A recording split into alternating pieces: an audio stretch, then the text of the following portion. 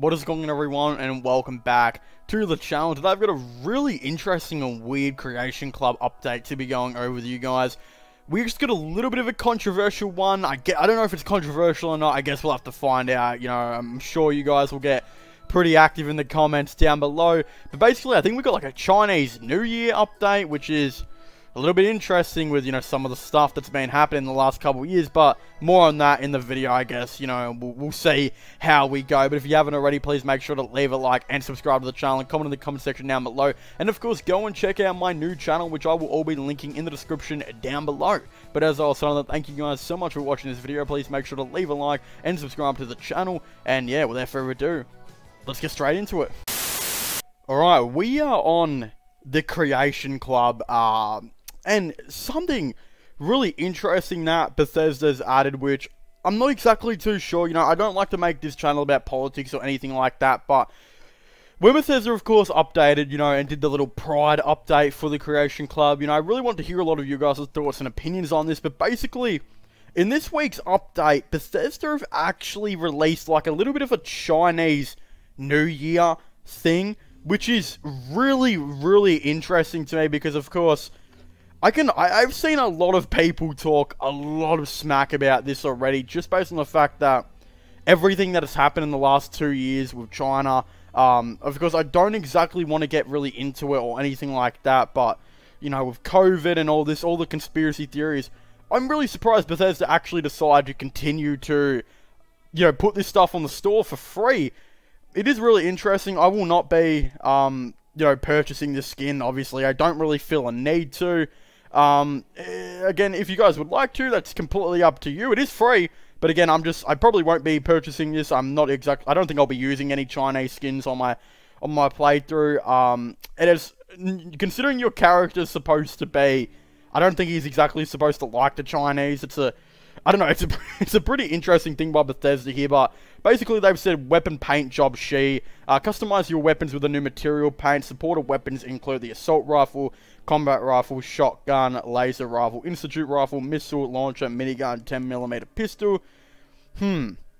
It is just really interesting to me that Bethesda have decided to, you know, add this to the game. You know, still, like, I put this on a full discount. Like, I thought they would have been pretty nervous. I guess Bethesda, whoever's doing the Creation Club, they must have, like, big balls or something because, my goodness, they've put the, the Pride update on. They did that, you know, where they made all the did like this big rainbow skins and all that type of stuff. You know, I was just like, all right, fair enough. You know, that's your thoughts and opinions on it, whether or not you think that's politics and whether or not you think that's bringing politics into the game.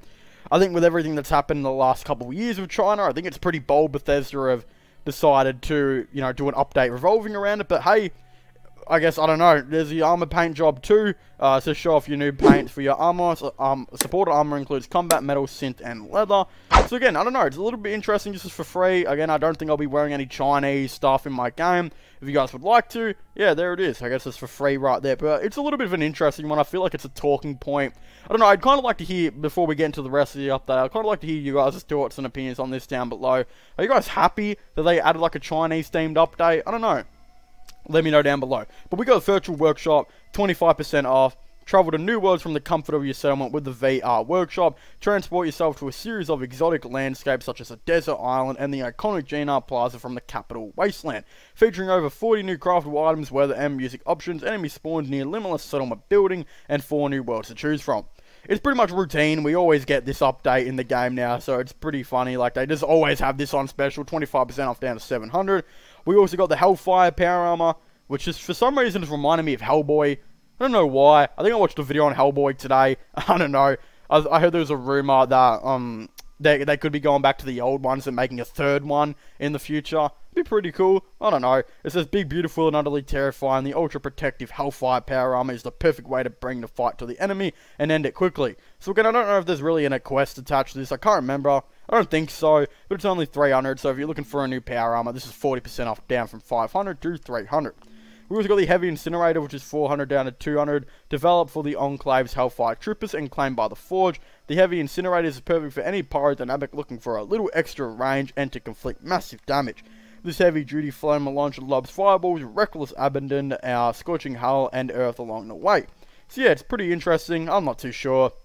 This is, of course, 400 down to 200. Um, we also got the Astro Bundle 1200 down to 900. It says embark on the adventure of cosmetic proportions with the uh, Astro Bundle. It features Morgan spacesuit, three new weapons from the Zetan arsenal, and weapons armors and unique uh, power armor set from the Captain Cosmos. A total value of 1600. It says, note, the price has not changed. If you already, yep, we, we pretty much already know. Thanks, Bethesda. But yeah, 1,200 down to 900, 25% off. I don't know, it's a, it's a pretty cool one. But again, these are the weapon paint jobs. So, hey, it is a real interesting update. I would really like to know your thoughts and opinions on this one. Are you guys happy they did uh, like a new Chinese New Year China update? Of course, I'd very much like to know your thoughts and opinions on this down below. Of course, don't forget to leave a like and subscribe to the channel and comment your thoughts and opinions on this down below. And yeah, I guess without further ado, you know, leave a like, subscribe, and comment, and I'll see you guys next time. Goodbye.